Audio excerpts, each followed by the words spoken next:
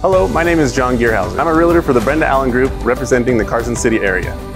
I'm Tyler Dixon. I'm a lender for Mann Mortgage, representing all of Nevada. If you're seeing this video, it's because you got a flyer from us on the front of your door. For some of you looking to maybe get into houses, the difference between rent and what you could possibly be paying on a mortgage, you probably see that on your flyer. We have tons of different options depending on what you're looking to get into. We have down payment assistance, we have two to one buy down programs. We'll get you into the right program, make sure something works for you,